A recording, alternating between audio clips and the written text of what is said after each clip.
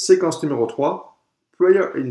Tout d'abord, je vous joue ce morceau accompagnement main gauche plus mélodie à la main droite, trois fois de suite, de la façon que vous devrez la présenter le jour de l'évaluation.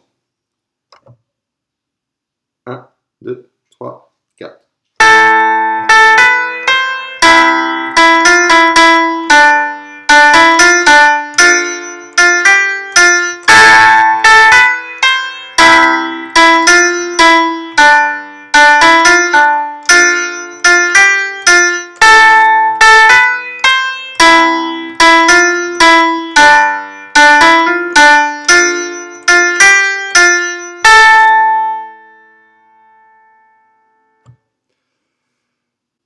Vous remarquerez tout d'abord qu'à la fin du morceau, on termine sur deux notes identiques à la main gauche et à la main droite, c'est-à-dire de La.